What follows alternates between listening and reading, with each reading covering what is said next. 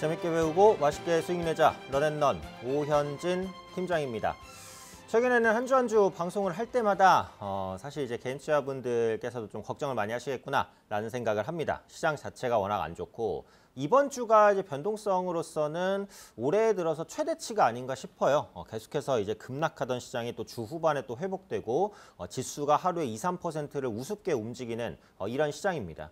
지수가 2, 3% 움직이면 종목은 5, 6%, 7%까지 아무 이유 없이도 등락이 나올 수 있어요. 그렇기 때문에 투자의 중심이 흔들릴 수 있는데 이럴 때일수록 제가 항상 뭘 강조드렸죠? 네, 종목 압축 그리고 종목에 대한 분석 이 부분이 핵심입니다. 내가 종목에 대한 믿음이 있다면 시장에 흔들리는 거 너무 두려워하지 마세요. 하지만 대충대충 어디서 듣고 종목 사서 10종목, 20종목 갖고 계신 분들은 불안하시겠죠. 네, 그러신 분들은 지금이라도 아무리 많아도 10종목 이내로 종목을 압축하셔서 대응해야 됩니다. 불안정한 시장을 이기는 힘은 결국 종목이라는 부분을 꼭 기억해 주시면 좋을 것 같아요.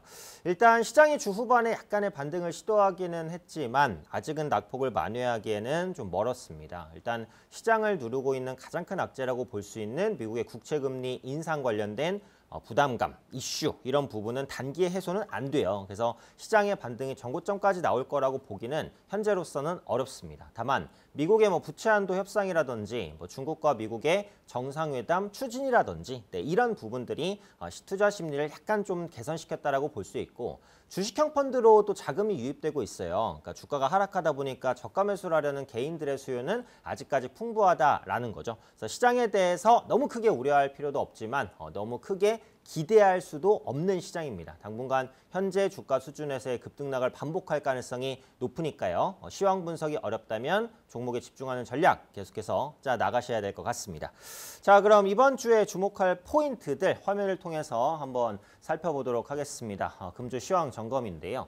일단 이번 주 시황 점검으로 잡은 포인트는 두 가지입니다. 연말 수출 지표 개선세 둔화에 대한 우려감이 있다는 부분 그리고 중국향 반도체 수출 추이를 주목하자라는 부분 키워드 보시면 두 개 다 공통이에요. 수출, 수출입니다. 아, 제가 이 시간을 통해서 한국의 수출 중요성을 엄청나게 많이 강조드렸어요. 수출이 꺾인다는 건 곧 코스피 기업의 실적이 꺾인다는 것을 의미합니다. 아무리 거시 여건이 안 좋아도 수출이 짱짱하게 치고 나가면 대형주의 실적은 괜찮아요. 결국 실적은 수급을 부르니까. 그러니까 지금 시장에서 수출 지표를 판단하는 것은 네, 매우 중요하다라고 볼 수 있겠죠.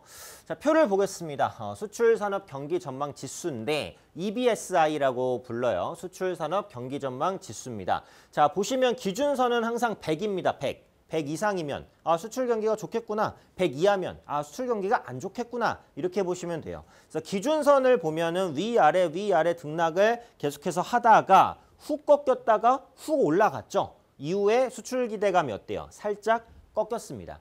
어, 실제로 지금 보시면 한 8월 정도, 9월 정도까지 빠르게 개선되던 수출 지표가 어, 연말로 갈수록 조금씩 꺾이는 그런 흐름들이 나타나고 있어요. 그래서 이런 부분들은 실적 컨센서스를 깎아내릴 수도 있는 요인입니다. 그래서 앞으로 이 수출 산업 경기 전망 지수가 100 위에서 다시 한번 반등을 시도하는지 이런 부분들을 꼼꼼하게 살펴보셔야 될 것 같아요. 특히 삼성전자나 SK하이닉스 같은 반도체 대형주가 흐름이 여전히 좋지 않아요. 그렇기 때문에 수출 지표에 대한 개선세가 나와야 이런 대형주들의 반등이 나타날 수 있다는 부분 한번 염두에 보시면 좋을 것 같고요. 어, 두 번째 내용도 한번 보겠습니다. 중국 수출 비중입니다. 한국은 소규모 개방 경제 국가다라는 말씀을 자주 드렸어요. 수출로 먹고 사는 국가라는 거죠. GDP의 70% 이상이 수출로 구성되어 있습니다.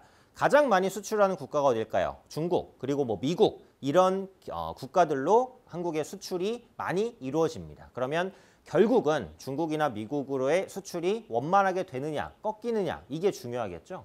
자, 표를 보시면 네, 중국 수출 비중이 특히 높은데 그중에서도 네, 반도체, 압도적입니다. 그죠? 40.5%. 그다음에 기계 12.3%, 기타, 화학, 플라스틱, 의료, 철강, 석유 제품 요런 순서입니다. 결국 반도체 수출이 어때요? 그만큼 중요하다라는 거죠.